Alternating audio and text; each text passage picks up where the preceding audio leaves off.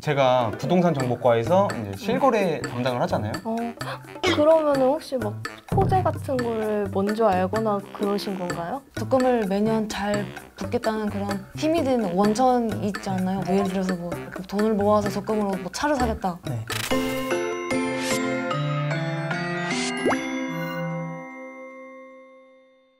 또 영등포 구만에 할 수 있는 거 있잖아요. 아, 구상조에. 각 네. 구마다 다르겠지만 네. 이제 구상조회가 영등포구에도 있는데 혹시 하고 있어요? 아니요, 저는 사실 몰랐어요. 상조회라는 개념이 제 저한테는 굉장히 낯선 개념이어가지고 공지사항 이런 데 한번 쳐보기는 했는데 설명이 어렵게 되어 있어가지고 바로 닫아버렸거든요. 그래서 음. 심연님께 한번 여쭤보려고. 행정공제과랑 비슷해요. 구상조회는 영등포 구 공무원들끼리만 하는 그런 음. 상조회고 복리는 아니에요. 행정공제만 그런 복리인 거네요. 그리고 음. 특이하게 이거는 월 이자가 아니라 음. 배당금으로 해서 저한테 들어와요. 주기가 어떻게 돼요? 1년에 한 번 줬던 걸로 아- 알고 있어요. 그래서 제가 음. 3년 차로 들어왔는데 2년 차 때 깼어요. 왜요? 왜 깨셨어요? 저 이사를 하느라 아 급전이 네, 필요하셨군요. 급전이 필요하다 보니까 이게 깼는데 기술직 같은 경우에는 음, 구상조회를 많이 넣어요 우선 매달 아. 꾸준히 넣어요 그 다음에 타구 이동할 때 돈 쓸 일이 좀 있잖아요 그때 사용하는 건가요? 그때 약간 비상금으로 그때 아. 사용들을 많이 하시더라고요 구상조회의 단점은 경조사비를 받는 게 없다고 하는데 맞는 건가요? 헷갈릴 수가 있는데 예. 서울시 직원 상조회가 있어요 아 서울시도 있어요? 그거는 이제 가입을 내가 했는지 안 했는지 모를 수도 있어. 음. 안 했다고 생각했는데 돼 있을 수도 있고 아니면 어. 기억하시는 분들은 아마 가입 을 해- 하셨을 거예요. 급수마다 넣을 수 있는 돈이 차등이 있는데 8급 이하는 7,000원, 음. 6에서 7급은 만 원, 4에서 5급은 이제 15,000원 정도? 장점이 우리가 결혼도 하고 집안에 좀 상을 당하시는 분들도 있고 또 출산도 하- 음. 하는 그런 일 있잖아요. 그때 이제 축하금으로 돈을 주는 걸로 알고 있어요. 정리를 하자면 구상조회는 경조금 지금이 없는 게 단점이고 서울시 상조회의 단점은 납부할 수 있는 금액이 적다는 거네요. 네. 그게 단점. 근데 제가 보니까 금액이 되게 적어요. 8급 이하는 7,000원인데 언젠간 큰 돈이 되겠죠? 아 지금 이게 네. 적다고 했지만 방금 전에 설명 드린 세개 서울시 직원 상조회 구상조회 행정공제에만 넣어도 생각보다 알차요 들어오시는 분들은 요 세 가지를 가지고 음. 월급 구조화 시켜서 재무에 대한 계획을 세우는 것도 괜찮은 것 같아요 저 같은 경우는 이런 거를 잘 몰라가지고 좀 늦게 시작한 케이스거든요. 이런 거에 되게 빡싹한 분들은 들어오자마자 바로 행정공제에 가입해서 납부를 하고 뭐 이러신 분들을 보면서 아 내가 너무 늦었구나 되게 바보같이 돈만 쓰고 살았구나 이런 자책을 했었습니다. 50%씩 저축하는 거면은 음, 잘 하고 있는 건가요? 참 잘하고 있어요 감사합니다. 으라차차 연구는 왜 자꾸 밑줄을 치는 거예요? 으라차차 연구는 음. 뭐길래 이렇게 혹시 홈트 좋아하세요? 아 요즘에는 홈트죠 그쵸, 무조건 홈트가 대세죠. 코로나19 때문에 밖에서 운동을 하기가 사실 굉장히 꺼려지잖아요. 그래서 그쵸. 그래서 홈트를 많이 하는데 으라차차 연구회라고 저희 연구회 채널에서 새로운 코너를 마련을 했거든요. 2006년 토리노 올림픽 쇼트트랙 금메달리스트인 강윤미 선수가 음. 나오셔가지고 집에서 할 수 있는 유용한 동작 같은 것들을 알려주시거든요. 꼭 집에서 한번 따라해 보세요. 저도 집에서 유튜브로 이제 운동하는 거 틀어놓고 따라하거든요. 눈으로만 따라하시는 거 아닌가요? 이게 PT가 필요가 없어. 너무 아. 자세하고 잘 설명됐는데 음. 잘돼 있어요, 이것도? 어, 그럼요. 이거는 심지어 금메달리스트 선수분께서 하시는 건데 얼마나 약간 태, 잘하시겠어요. 태릉 선수촌 맛을 볼 수 있나? 매운맛을 보실 수 있죠. 아, 음. 저도 오늘 저녁에 가서 이거 한번 따라서 보고 음. 따라해봐야겠네요. 그냥 다른 게 재테크가 아니라 이렇게 밖에서 운동하는데 돈 쓰지 말고 집에서 하는 게 재테크거든요. 돈 안 쓰고. 몸도 재산이다. 그럼요. 그래서 강추합니다. 목표가 있어요? 영등포가 정말 살기 좋잖아요. 그래서 우리 영등포구 안에 내 집이 있으면 얼마나 좋을까. 근데 너무나 먼 미래고요. 퇴직 전에 될 수 있을는지도 모르겠네요.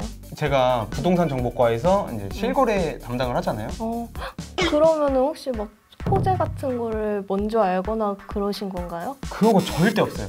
전혀 없어요. 다 똑같은데 부동산 거래를 할 때도 어떻게 하는지 절차를 다 아니까 그 정도 도움만 되고 뭐 남들보다 소식을 빠르게 안다던가 그러한 것들은 전혀 없는 거네요. 아 그런 거 절대 없죠. 아, 본인의 그런 목표는 어떤 거예요? 이과다 보니까 이제 네. 대기권, 성층권, 중간권, 열권 네. 이렇게 있다 치면 대기권을 한 1억 정도로 보고 있어요. 순 자산만 1억 음. 돌파 정도? 아, 1억을 모으자? 그래서 목표는 그냥 대기권 돌파. 1년 열심히 일했는데 천만 원 모았으면 10년 일. 음. 이게 되게 슬픈 거예요. 저도 이것저것 다 해보면서 한번 음. 1억을 빨리 한번 돌파해보는 게 제 목표죠. 그럼 1억 모으면 뭐 하실 거예요? 그 다음에 5억 모아야지. 그 5억 모으면 뭐 하실 거예요? 그럼 10억 모을 거예요. 그럼 10억 모으면 뭐 하실 건데요? 그 다음서부턴 네. 이제 100억으로 가는 거죠. 이번에 이제 신규 합격자 발표가 났죠. 지금 저희가 말한 거 찾아보면 다 나와요. 구청 가면 또 설명을 해주실 거고 음, 월급이 사실 많지는 않지만 이렇게 많지 않은 월급 그래도 알뜰살뜰 모아가지고 어, 우리 다 같이 부자가 돼봅시다. 서울시 상도회처럼 월급 받자마자 바로 자동으로 빠져나가는 게 또 있어요. 어?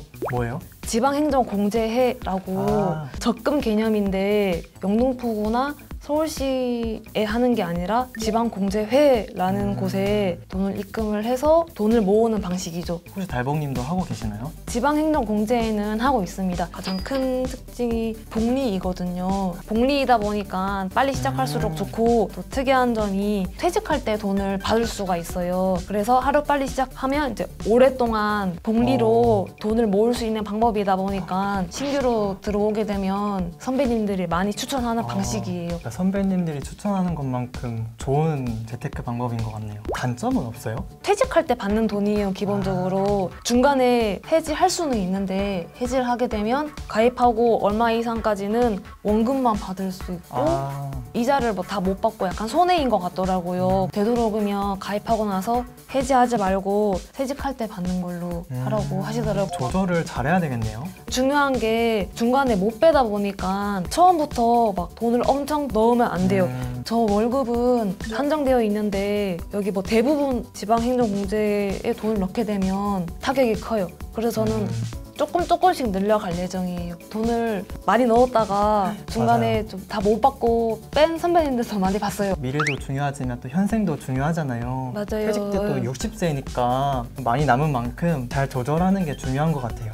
뭐 상조회랑 행정공제 같은 것만 말씀을 드렸는데 물론 저희도 은행에 적금도 다 하고 있어요. 그리고 요새 재테크 중에 주식이 핫하던데 공무원이라고 주식 펀드 이런 거를 못하게 하진 네. 않아요. 다 하고 신규자다 보니까 상조회나 행정공제 같은 거 말씀드렸는데 저희 월급으로 이제 재테크 해서 돈을 저축할 수 있는 방법은 여러 가지가 있는 것 같기는 해요. 웅신님은 이제 돈을 모아서 뭐 하겠다 이런 목표를 가지고 돈을 모으세요? 목표는 일단 지금 적금을 많이 붓고 있기 때문에 네. 그걸 매달 빵빵 하지 않고 매달 붓겠다.